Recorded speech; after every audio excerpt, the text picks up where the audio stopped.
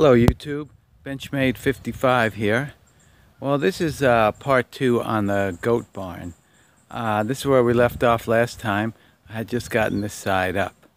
But now uh, I'm pretty much knocked it all out except for the windows. So I'm really happy the way that it turned out.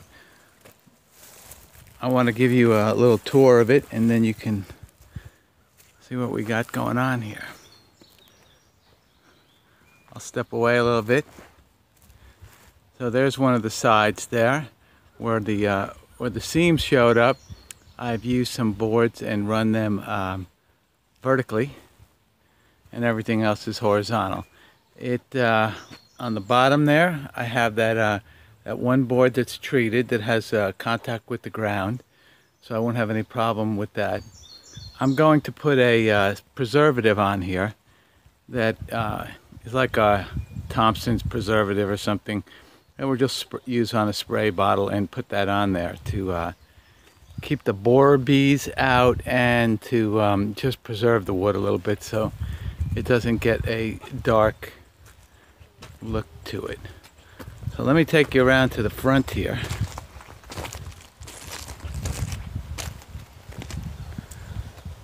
Got a nice overhang on it put some gutters on in the front.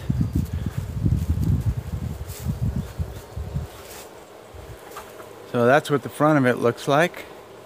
Uh, we have some poles set in there that will be used for an immediate fence right around their area so that we'll feel like if we want to just uh, put them in there and it'll have a really secure fence and uh, they can go in the in the uh, barn and then in the um, in their pen if we're, um, you know, not here or whatever for the day. So that will, um, that'll be good. And then we're going to uh, run up a, a, pasture that we have here, a small one, and put in some uh, uh, fencing for them so that they have a nice place to go. I'm really happy with the way it turned out. Kind of has that rustic old west look to it. And like I said you couldn't beat the price on it with that uh, that lumber um, getting it from the sawmill there. So I put a couple of pieces like that one in the front there that looks pretty cool and just kind of added that on there to make it look good. So let's go over here and I'll take you inside and show you what else we did there. There's a trap up there that uh, is for the borer bees. They go in those holes there and then they get stuck inside there and that's it. Then they're chicken food. So, um, because they sure like the raw wood and any place that there's a hole or anything started, for instance, right in here and stuff, that's from uh, some uh, bugs that was in the lumber. They go and um, get over there and drill a hole in there and they lay their eggs or whatever they do. And anyway, they make they, they can really uh, destroy a, a barn or your house or anything. So let's go in and have a look.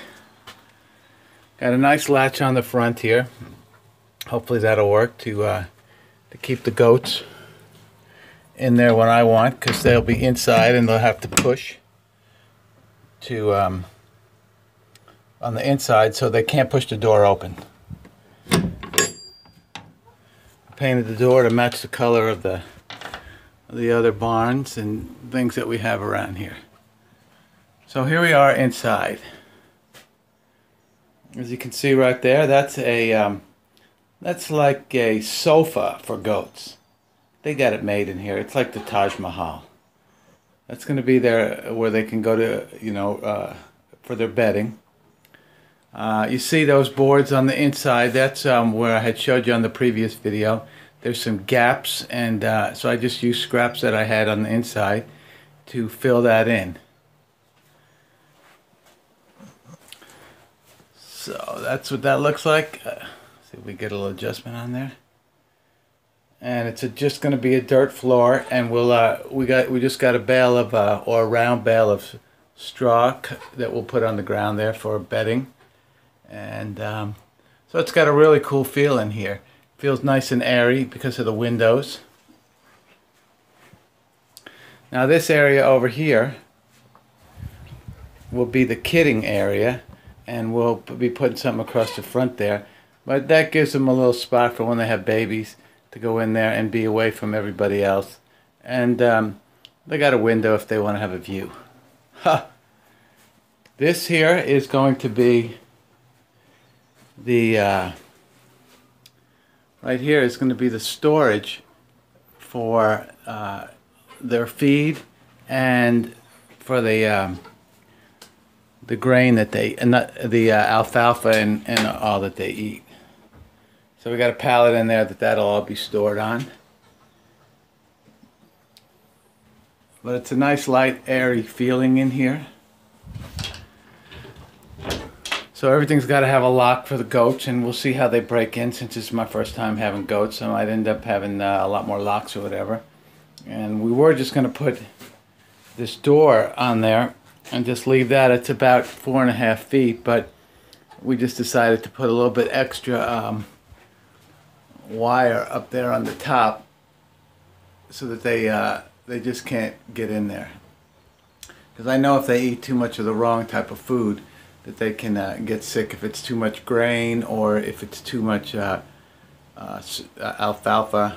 I'm not sure exactly what they eat yet. Now, uh, and then this side over here where we had the uh, the pen for the um, the kidding area, we're gonna have to put up some wire here. So I gotta I gotta wrap that up. But I wanted to get it all done and get it cleaned up enough so that we can. Um, put the preservative on there and, and keep the, the bugs and everything out before we start getting into the heavy part of the weather where we have afternoon thunderstorms every day. Now this turned out really cool here. This is going to be the milking stand. And so how that's going to work is, well this is my plan anyway, is that this part that's jutting out, you'll sit on there and the goat will be back there. Her head will come up in the front here.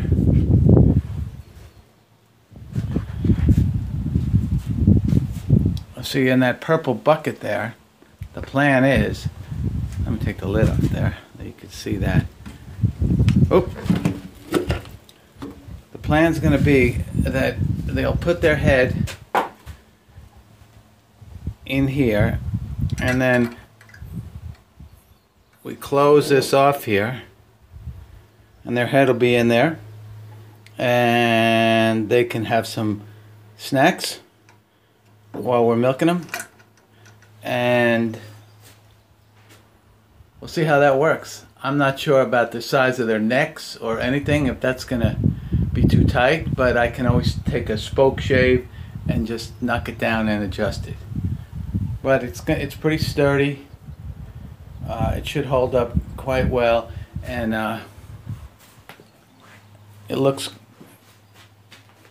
nice and um, rustic and matches the rest of the barn. So I'm uh, I saw some plans on the or I saw a picture of one similar to this on uh, the internet and so I just kind of took it and went with it my own way. I'm not sure if that seat part's going to work out. Uh, but if not, I'll just cut it off and we'll, we'll use a stool. So that is the uh, goat barn and um, really happy with the way it turned out. And all I got to do is put the fencing on the outside.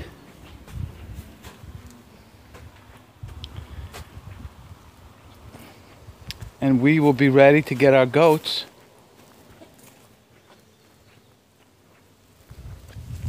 we have this gate here